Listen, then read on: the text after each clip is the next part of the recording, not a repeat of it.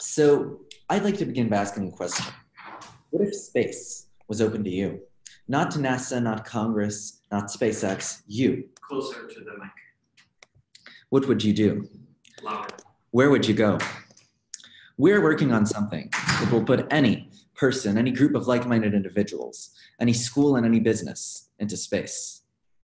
But how do you do such a thing? You need a new type of spacecraft, not a multi billion dollar Mars rover or Dragon capsule, but something much smaller and cheaper. And this is why 20 years ago the CubeSat was invented. But what is a CubeSat? CubeSat is a satellite made of a small, modular 10 by 10 by 10 centimeter cubes, and these cubes can be assembled into larger and larger satellites. These cubes are composed of several subsystems, for example, avionic uh, structure, avionics, radio, payload, power transmission, and power generation. These subsystems come together to build the complete satellite. The problem is, they're all super expensive. A modern CubeSat platform today can have super low specs and yet cost $25,000. And even at this price, it includes no payloads and is extremely bare bones, no cameras, it can only receive and transmit. In contrast, a modern iPhone is many, many times more powerful than this satellite and includes many advanced cameras and sensors, and yet costs 25 times less. So it's pretty obvious that the solution here is to build satellites like you build phones. And as you can see here, once you do that, as seen in these three products, which are currently under development by us, you can get much, much higher performance at a radically lower cost. Um, and then thus revolutionize every single product category you enter by using this approach. This is not just hypothetical. A few days ago, we did our first launch with United Launch Alliance. Now, this was just suborbital. It did not stay in orbit, just went up and returned.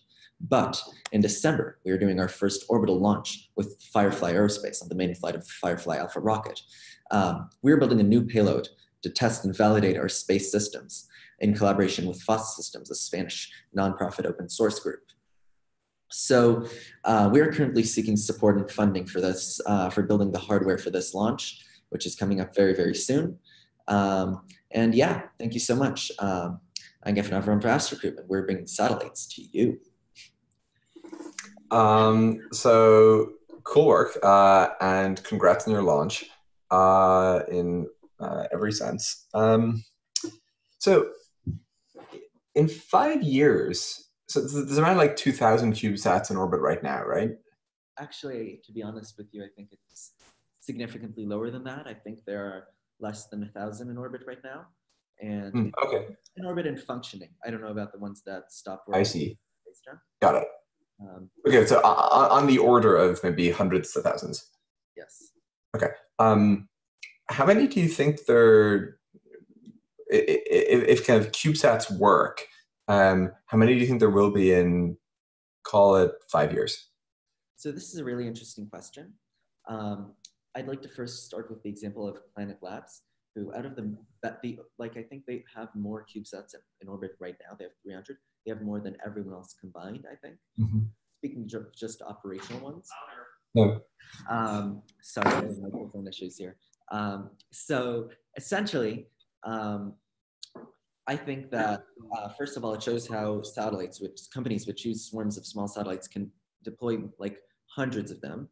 They launched 88 in one launch, but that's only the beginning because mm-hmm. um, in several years, the SpaceX Starship will be coming online, and at that point, that's when the revolution, um, the singularity of space travel, um, is arriving. And um, essentially, I've I've done the math, and if you could even use just one percent of the internal space of the Starship for CubeSat payloads, just one percent, you would still be able to launch 10,000 CubeSats in a single launch. And yeah, I, I fully believe the will sort of have the capacity to launch a lot. The thing that I don't understand as well is what they'll all be used for. And, you know, kind of mapping and sort of geospatial stuff out of Planet Labs obviously makes a lot of sense. And so like, uh, the, the, question I wonder about is, um, you know, what, what's use case number five? What's use case sort of number 10?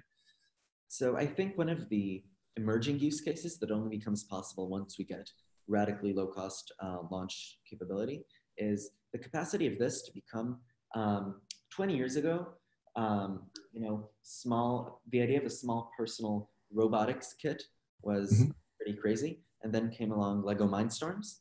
And so I think uh, as someone who in high school built a satellite, uh, a CubeSat, it, it is one probably the greatest STEM experience someone can have. Period. Um, and so, if this can be um, in the same way we have first today, I think that's a, a potentially massive, massive. Um, so, kind of the, the educational, pedagogical, hobbyists. Exactly. Got it. So, so, so, this is in some sense for people who might, you know, otherwise pursue, you know, those uh, those high altitude balloons. Exactly. Um, high altitude balloons, suborbital launches, and right. other hobbyist projects altogether. Um, yep. Drones.